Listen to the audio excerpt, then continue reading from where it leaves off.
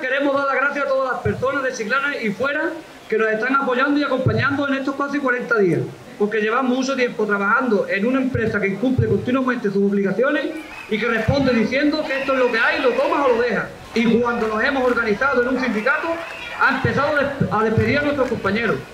Por eso estamos en huelga, para protestar por las condiciones de trabajo tan malas en las que vivimos y para enfrentarnos al despido de dos compañeros por reclamar sus derechos y organizar un sindicato para defender los derechos que tenemos como trabajadores. Pues que sepa la empresa que la situación solo se va a arreglar cuando reconozca que tiene un conflicto y ponga la voluntad de resolverlo, readmitiendo los despedidos y poniéndose a solucionar los problemas que hay, que son muchos.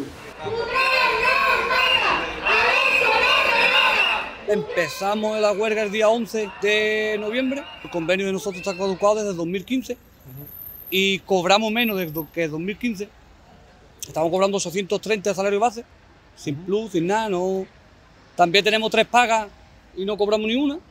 Un mes de vacaciones y solamente cogemos 15. Días festivos, sin días libres. No tenemos nada, no cobramos ni días festivos, nada. Fuimos a hablar con la empresa, un grupo de personas, para ver si podíamos, por la buena, conseguir algo. Una vez que nos afiliamos al CDT, no pasó ni un mes, ahora nuestra compañera Paqui, eh, que llevaba 17 años. Y a la semana, semana y pico me mí, que soy el delegado sindical de CDT.